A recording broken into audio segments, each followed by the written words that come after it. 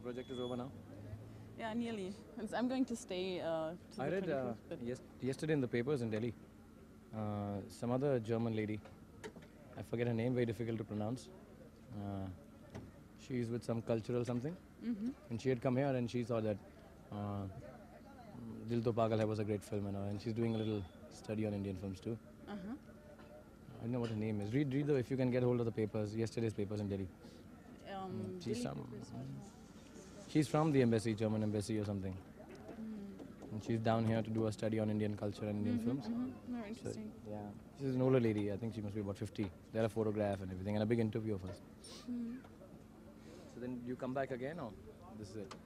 Um, not for this film, not for the shooting. Okay. Now you write a film for Indian cinema and come and shoot it. Yeah. Yeah. It is the last German film. Um, we have some German directors who went to the United States. Ah, that you told me. so, But German films, you you won't see them here. They're really special. Get some for us now when you come back next time. Yeah, I do that. Some nice German films. I like to see them because French you can still see, Hmm? you know, but European cinema. I mean, German is the one cinema. Czechoslovakian I've seen, Hmm. but I've never seen a German film. Yeah, I bring some to you. And bring some. You have it on tapes and all that. Yes, yes, yes, yes. That'll be nice. I've never seen a German film actually. As a matter of fact. No, I do. What kind of films do they make? Do they make action films or romantic triangles or At the moment, mainly comedies. comedies? Okay. I've some seen some Italian films also. Johnny Toothpick. I've never seen a German film. Hmm. I've seen a German film.